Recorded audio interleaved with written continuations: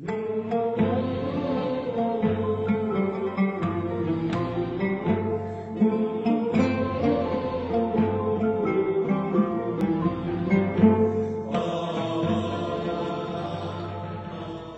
السادس من أكتوبر العام 1954 ميلادية. عقدت الهيئة التنفيذية العليا أول اجتماع شعبي لها تم خلاله انتخاب ممثلين عن المعارضة وتجنيد مختلف الفئات الشعبية لتتولى رص الصفوف للتصدي لمشاريع المستشار العسكري البريطاني بيلي جريف والعائلة الخليفية الهادفة لإحداث فتنة طائفية. وقد باشرت الهيئة التأسيس والاجتماعات إثر الاستقطابات الطائفية التي كانت سائدة في فترة الخمسينات من القرن الماضي.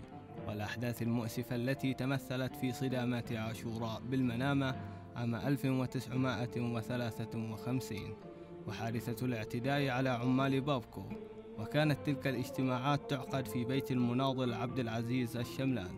ويحضرها كل من عبد الرحمن الباكر ومحسن التاجر وآخرون. ابتدأت الاجتماعات بترشيح كل عضو أسماء عدد من الشباب المستعد والقادر على المساهمة في القيام بحملة توعوية وتم الاتفاق على ترشيح مئة اسم على أن تبقى أسماؤهم سرا.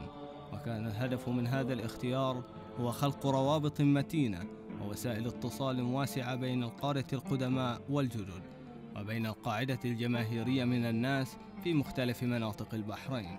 لتصبح الهيئة بذلك أول تجمع سياسي وطني يجمع الطائفتين في البحرين.